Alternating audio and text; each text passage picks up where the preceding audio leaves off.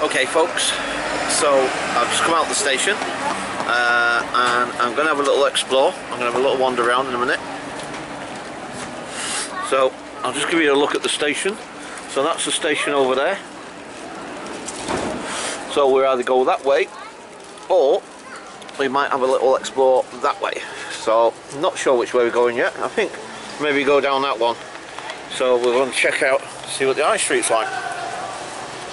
So I'm just having a quick fare and I did get Costas. The Costas is just over there. And also what I found was that there's another Costas directly across from it. So that's quite handy. Right. So I'll have a little wander around. Uh, probably obviously, well, more than likely do some, some vlogs obviously. Uh, so I'll catch you guys later. Bye for now.